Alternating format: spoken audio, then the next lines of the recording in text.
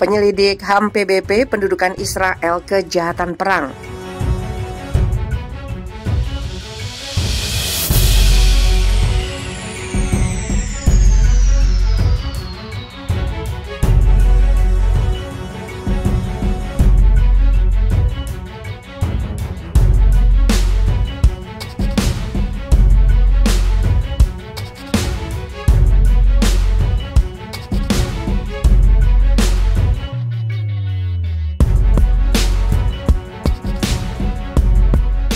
Penyelidik hak asasi manusia PBB di wilayah Palestina yang diduduki Michelle Ling menilai permukiman liar Israel di tepi barat merupakan kejahatan perang.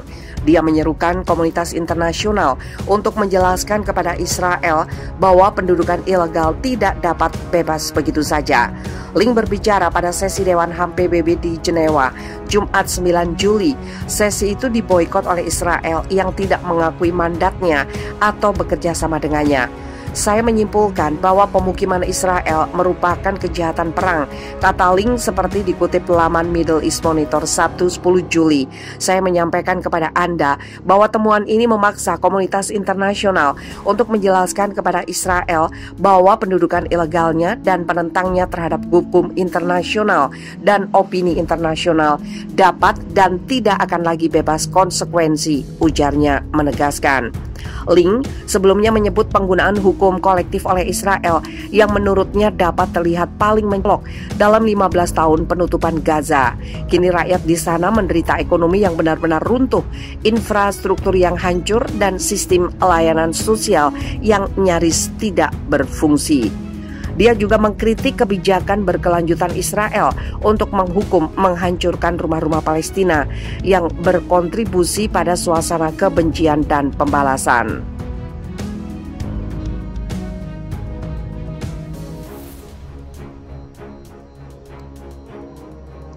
Iran tuding Arab Saudi punya rencana nuklir rahasia. Dua negara Timur Tengah yang telah lama bersaing, Iran dan Arab Saudi kembali menemukan diri mereka dalam perselisihan di tengah upaya untuk memulihkan hubungan. Terbaru, kedua pejabat negara itu berbalas pantun terkait program nuklir Iran. Duta Besar Iran untuk Badan Energi Atom Internasional, Kazem Garibabadi meminta pengawas nuklir internasional itu untuk memeriksa aktivitas nuklir Arab Saudi.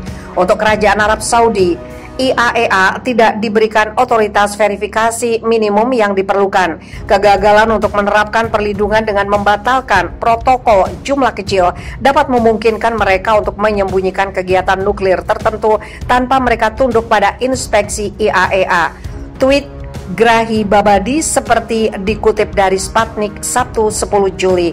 Sebelumnya seorang pejabat Kementerian Luar Negeri Arab Saudi yang tidak disebutkan namanya mengungkapkan keprihatinan negara monarki di Teluk Arab itu atas program nuklir Iran. Program nuklir Republik Islam menimbulkan ancaman bagi keamanan regional. Riyadh sangat prihatin dengan peningkatan laju aktivitas nuklir Iran dan pengembangan kemampuan yang tidak konsisten dengan tujuan damai, kata pejabat itu. Pejabat tersebut menyebutkan bahwa Arab Saudi menganggap rencana Iran untuk memproduksi 60% uranium yang diperkaya murni dan 20% logam uranium kemurnian untuk menimbulkan ancaman yang meningkat terhadap rezim non-proliferasi dan untuk menghambat upaya untuk mencapai kesepakatan nuklir komprehensif yang menjamin global dan keamanan dan stabilitas regional.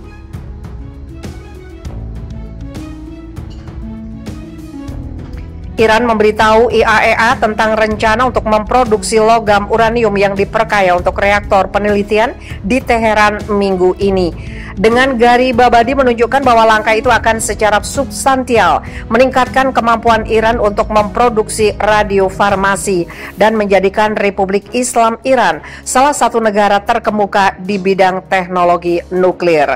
Amerika Serikat dan sekutunya Inggris, Perancis, dan Jerman telah menyatakan keprihatinan atas rencana produksi logam uranium Iran menunjukkan bahwa zat tersebut memiliki potensi aplikasi militer. Teheran telah menepis kekhawatiran ini ini menunjukkan bahwa logam uranium adalah komponen untuk produksi silisida, bahan bakar nuklir canggih dan mengingat bahwa itu tetap tidak terikat oleh ketentuan rencana aksi komprehensif bersama. Setelah Washington dengan keputusan sepihak untuk menarik diri dari perjanjian pada tahun 2018. Persyaratan perjanjian mencakup komitmen untuk memberikan bantuan kepada Iran untuk meningkatkan kualitas industri radiofarmasinya. Tetapi Penandatanganan kesepakatan yang tersisa telah gagal memenuhi komitmen ini setelah penarikan Amerika Serikat dari perjanjian tersebut. Sementara itu, para pejabat Amerika Serikat telah berulang kali meyakinkan masyarakat internasional bahwa Washington tidak akan pernah membiarkan Arab Saudi menjadi negara senjata nuklir. Menunjukkan perkembangan seperti itu akan mengancam keamanan Israel, satu-satunya negara di Timur Tengah yang diduga memiliki senjata nuklir.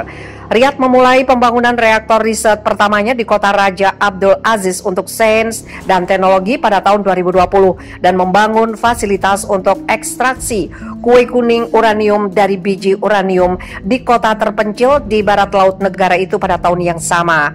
Pada bulan September 2020, media Inggris melaporkan bahwa Sekdom mungkin telah mengumpulkan cukup biji uranium untuk menghasilkan bahan-bahan nuklir dan ahli geologi telah menemukan deposit biji uranium di tiga lokasi terpisah di seluruh negeri dalam perkembangan terkait, media Amerika Serikat telah melaporkan bahwa badan-badan intelijen telah melihat apa yang tampaknya menjadi situs nuklir yang tidak diumumkan di dekat kota Arab Saudi Al Uyainah.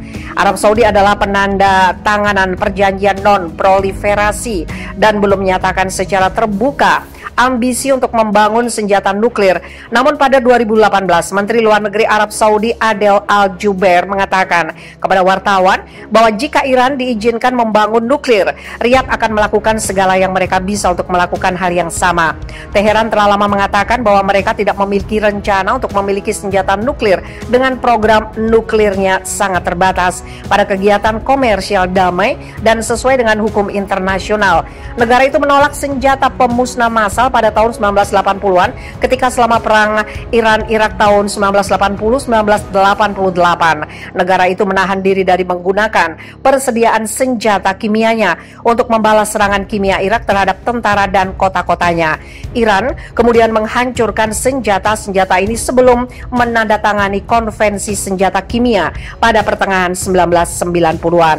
Komentar Gari Babadi tentang potensi kegiatan nuklir Arab Saudi bukan pertama kalinya. Diplomat Iran ini kerap mengkritik tetangga Iran dan masyarakat internasional atas dugaan standar ganda mereka terkait dengan masalah nuklir.